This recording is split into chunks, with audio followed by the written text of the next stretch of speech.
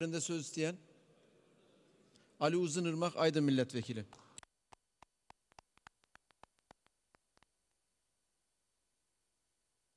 Saygıdeğer milletvekilleri hepinize saygılarımı sunuyorum.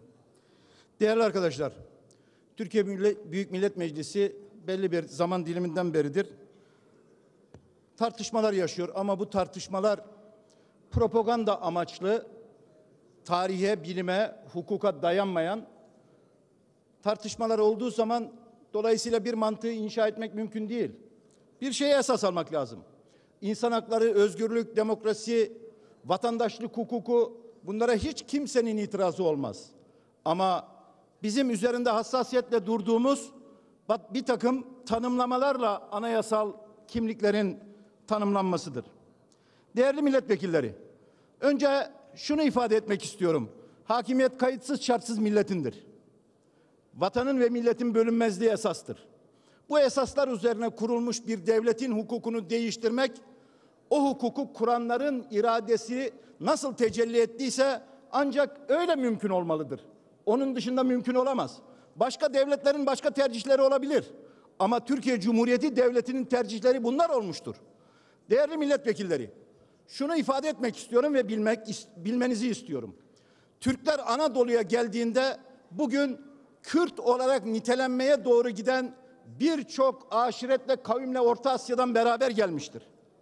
Bugün Muş'un Lolanlılar aşireti vardır.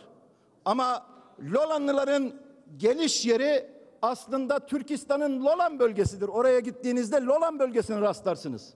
Bakın 2000 yıllık Türk tarihi olarak Fransız yazar Jean-Paul Roux'un yazdığı bir kitabı bir gün okurken o kitapta Altın Ordu Devleti'ni okurken Berdibek Hakan'a rastladım. Ve hepinizin tanıdığı geçen dönem milletvekili Fevzi Berdibek Bey'i aradım gece saat yarımda. Dedim ki Fevzi Bey senin bu soyadın nereden geliyor? Dedi ki abi biz Altın Ordu'dan geliyoruz dedi. Dedim ki seni tebrik ediyorum. Yani Berdibek kendisini Zaza olarak tanımlar ve Altın Ordu'dan geldiğini söylüyor. Değerli milletvekilleri, 12 Eylül sanıklarından bir arkadaşımız vardır. Bu arkadaşımız Cezayir isminde bir kardeşimizdir ve Şeyh Said isyanında Yado Paşa'nın Şeyh Said'in komutanlarından Yado Paşa'nın torunudur ve ülkücülükten dolayı 12 Eylül'den sürgün yemiştir. Bakın bir hatırayı da sizlerle paylaşmak istiyorum. Elazığ sanıklarından Fethi Namlıoğlu vardır. Fethi Namlıoğlu'nun babası duruşmaya gelmiştir. Dur, oğlunun duruşmasını izlemekte ve Fethi Namlıoğlu'nun ismi 226 kişilik idam listesinin içerisinde savcı tarafından açıklanır. Ve baba yerinden isyan eder. Küfürle Fethi Fethi bu ne iştir? Deden asıldı Kürtçülükten, sen asılacaksın Türkçülükten demektedir. Yani Türkiye Cumhuriyeti vatandaşlığı bazında ve Türk milliyetçiliğinin ırkçılığa kaçmadan bakış açısında bütün bu meseleler çözülebilir değerli arkadaşlar. Biz kimsenin diliyle, ana diliyle, anasıyla, babasıyla falan uğraşmıyoruz. Böyle bir milliyetçiliği de ırkçılık olarak tanımlanan bir milliyetçiliği kavram kargaşası olmadan hiçbir zaman sahiplenmedik. Türkler de sahiplenmemiştir.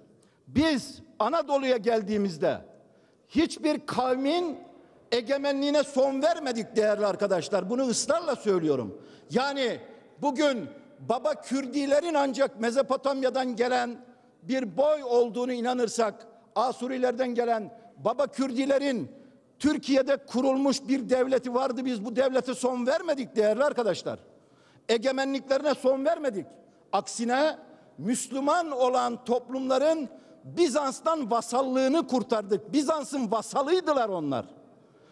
Hatta bugün siyaset yapan bazı arkadaşlarımız yazdıkları kitaplarında bile bazı düşünceleri savunanların İslam ordularının Hazreti Ömer zamanında Diyarbakır'ın fethinde orada kimlerin oturduğunu, hangi kavimlerin ne çoğunlukta oturduğunu bilmelerini isterim.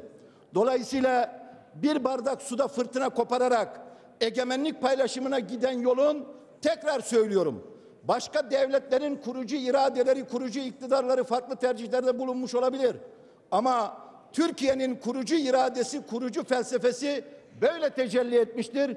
Bu kurucu idare, iradeyi, tecelliyi değiştirmek ancak o metotlarla mümkündür. Hepinizin bilmesini istiyorum. Herkesin bilmesini, bütün dünyanın bilmesini istiyorum. Hepinize en derin saygılarımı sunuyorum. Teşekkür ediyorum. Teşekkür ediyorum.